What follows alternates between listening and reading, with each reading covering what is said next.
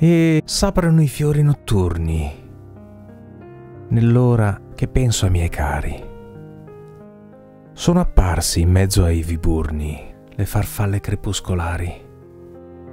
Da un pezzo si taccono i gridi. Là, sola, una casa bisbiglia.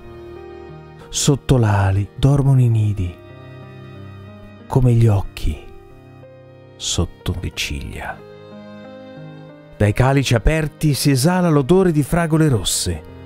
Splende un lume, là, nella sala.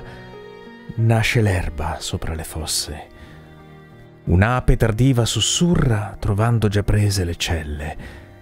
La chioccetta, per l'aia azzurra, va col suo pigolio di stelle. Per tutta la notte s'esala l'odore che passa col vento. Passa il lume su per la scala, brilla il primo piano. S'è spento. È l'alba. Si chiudono i petali un poco gualciti.